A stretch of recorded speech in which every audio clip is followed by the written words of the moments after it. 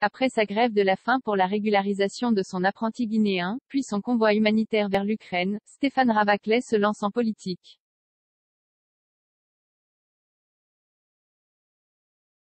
Le célèbre boulanger de Besançon a annoncé ce samedi qu'il serait candidat aux législatives des 12 et 19 juin.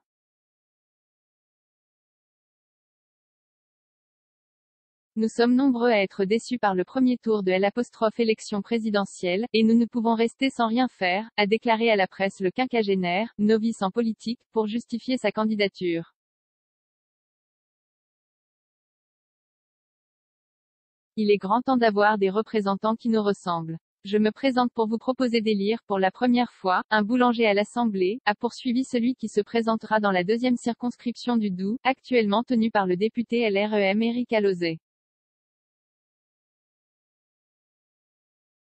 Je veux l'addition des gauches. Stéphane Ravaclet a appelé le Parti socialiste, Europe Écologie Les Verts, la France Insoumise et le Parti communiste à le soutenir.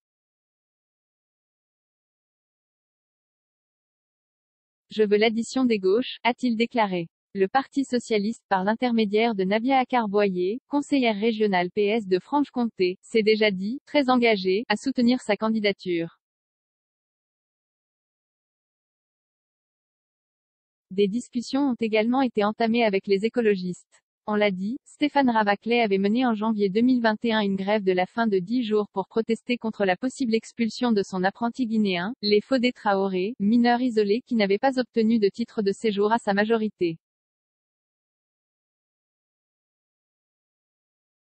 La situation du jeune homme avait finalement été régularisée par la préfecture de Haute-Saône. Puis en février, au lendemain de l'offensive russe en Ukraine, le boulanger s'était de nouveau illustré en lançant un appel aux dons pour venir en aide aux Ukrainiens.